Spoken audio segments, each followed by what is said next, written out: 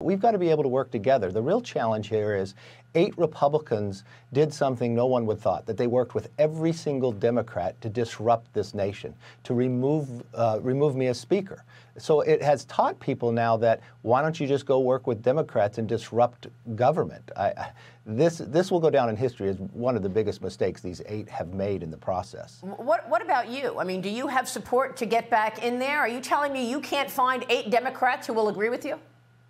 Look, the Democrats made a political decision, uh, thinking, and that that's their place to be, but they, they created as much chaos. Every single Democrat chose to create this chaos.